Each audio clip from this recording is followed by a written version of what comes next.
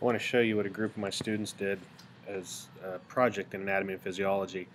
Uh, we've been playing around with Minecraft EDU and um, heard them talking about Minecraft one day in class and just kind of had this idea that um, I wanted to start exploring some ways to use Minecraft EDU in the classroom and they were expressing a little bit of an interest in playing Minecraft in their personal time so I thought hey why not let this group be sort of a guinea pig for me so uh, it's four boys, and I gave them the option of building a body part out of uh, in Minecraft world, and this is what they came up with: is this incredibly large, uh, incredibly beautiful model of the human heart. So let me fly over here, and I'll show you that blood comes into the right side of the heart through two veins, the superior vena cava. They're on top, and if we come down, it's not labeled, but you've got the inferior vena cava right here, which goes up. And those two veins bring deoxygenated blood, which they've represented with uh, water because it's blue. Brings deoxygenated blood up to this chamber, which is in the upper right quadrant of the heart. In that chamber, you see they've got it labeled as the right atrium. When the atria contract, it moves blood, oops, sorry, blood is moved through a valve, and you see that valve here, the tricuspid valve.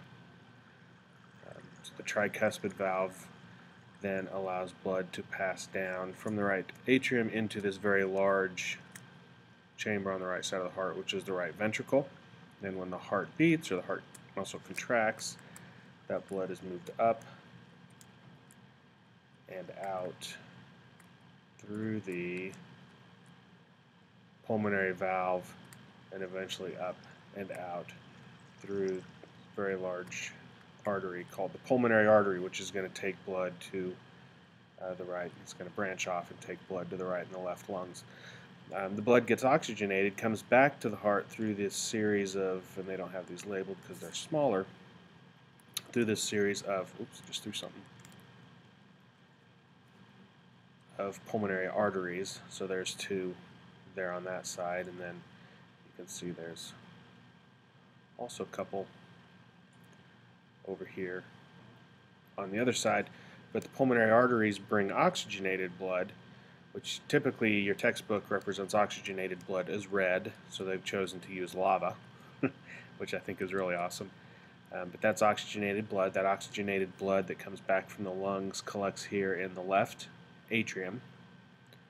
Again, same as on the right side, we had a right atrium. Now on the top of the left side, we have a left atrium. From there, the blood moves down through another valve, the pulmonary valve, or I'm sorry, the bicuspid valve. So you have the tricuspid valve on the right, bicuspid valve on the left, and then the blood moves down into the largest chamber of the heart, which is the left ventricle. And then when the heart beats, that blood from the left ventricle is pushed up and out to the body through this very large,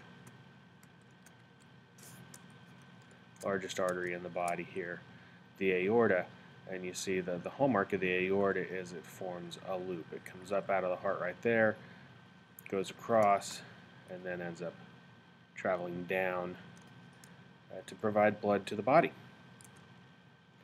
So you've got a full heart here. The major structures are all there what I really like about this, what I really think is cool, is actually made the valves here work. So if we click this lever, you see there that the tricuspid valve and the bicuspid valve are both closed. If we if we go ahead and activate this lever, you see that those valves actually open, and now you can see the blood on the right side of the heart and also the blood over here on the left side of the heart.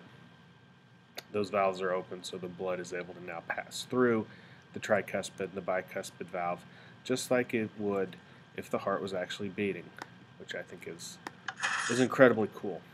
So uh, yeah, that's that's what they did.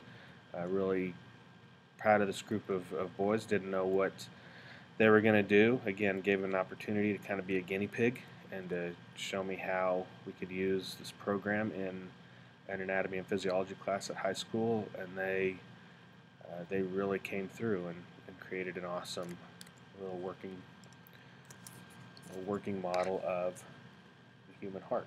So proud of you guys, and uh, hope you enjoyed watching this. And uh, keep playing Minecraft.